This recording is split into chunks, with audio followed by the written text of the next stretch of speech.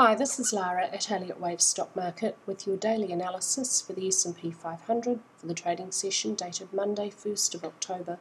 I'm recording this video 6:30 in the evening New York time on Monday the 1st New York time.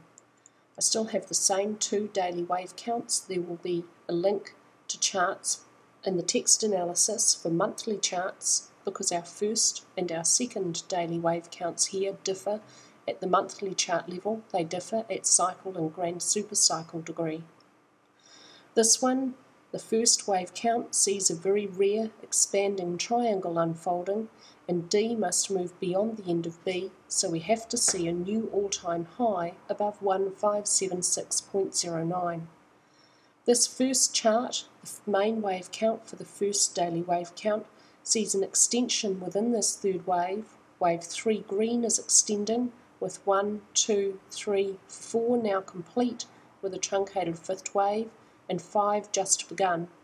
At 1508, wave 5 green would reach equality in length with wave 1 green.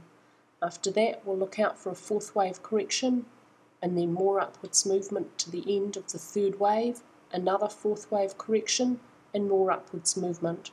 So this one has a high, probably a couple of months or so away, with two more time-consuming fourth wave corrections to unfold on the way up, taking at least four days, if not a couple of weeks each.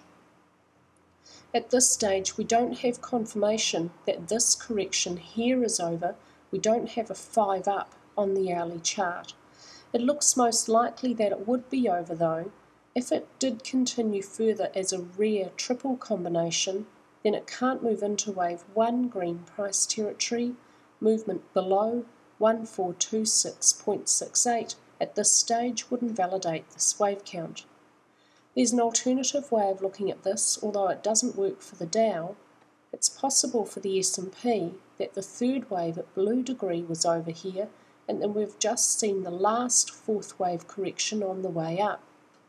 Although the fifth wave for this alternate would expect to be extended at 1607, C black in its entirety would reach equality in length with A black, and at 1619, wave 5 blue would reach 1.618 the length of wave 1 blue, and we'd have the second and the fourth pink waves on the way up, so it would look something like this, but more stretched out and taking longer in duration. But as I said, this one doesn't work for the Dow. Let's have a look at what happened on Monday on the hourly chart with a low for the fourth wave down here is this point down here.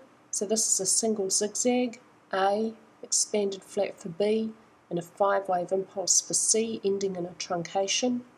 After that we have 1, 2, and within 3, 1, 2, and we need a strong third wave up tomorrow.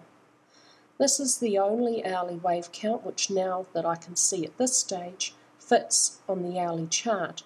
My previous main hourly wave count was expecting A, B and C to move lower. That didn't happen, we just got upwards movement on Monday. So because this downwards movement subdivides perfectly as a five wave impulse and it's really difficult to see it as a three wave structure, this is an impulse, and I think this is a truncated fifth wave. So this is the start of a new upwards trend, and we have a couple of overlapping first and second waves, which, if I've got the analysis of this piece here right, indicates that tomorrow we should be seeing an increase in upwards momentum. Our short-term target, which would be expected to be reached in one to three days, is 1472, where wave 3 aqua will reach 1.618, the length of wave 1 aqua.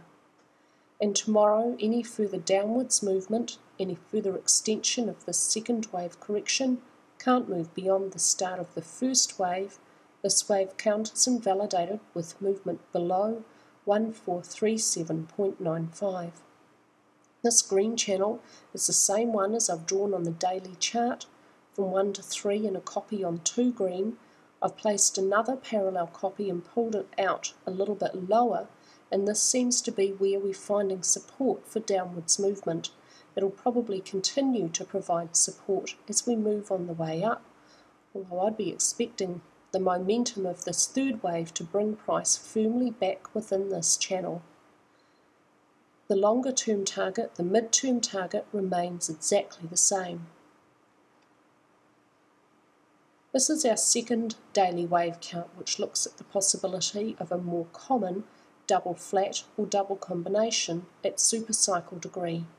The problem with this one, and the reason why it's reduced to an even probability with the first, is the length of primary B in relation to A is now longer than the expected 138% maximum.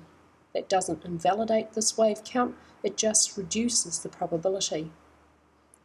We still need more upwards movement, most likely, though.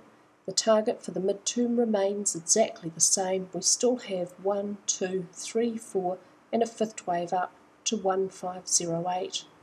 After that, this wave count expects a fourth wave correction and then more upwards movement to 1513, where wave C blue will reach 1.618, the length of wave A blue. Eventually, when we see movement below 1380.39, we'll have confirmation of a big trend change because that will take price back into what is wave 1 price territory for our first daily wave count. So downwards movement could not just be a fourth wave correction at blue degree, and so the upwards movement, no matter how we see it, would have to be over. Alternatively, if we look at this piece of movement the same as our first daily alternate wave count, it is possible for the S&P that we've had a big trend change. But this does not work with the Dow and also now it's increasingly unlikely because it doesn't work on the hourly chart as well. If this is a fourth wave correction, it's overlapped into wave 1 price territory, invalidating how I had this labelled. It's still possible, maybe, that we've got a leading diagonal unfolding, but the subdivisions just don't look right on the hourly chart, so it's increasingly unlikely we've had a trend change today. I'm expecting this week overall upwards movement. We have a short, mid, and long term target to work with, and some close by invalidation points, particularly on that hourly chart. I'm expecting an increase in upwards momentum tomorrow, if our hourly wave count is invalidated with downwards movement, then my analysis of recent movement is incorrect and I would expect that that fourth wave correction is not over, it could be extending as a rarer triple. That's all for me today with your S&P analysis and I hope that members will have a really awesome weekend.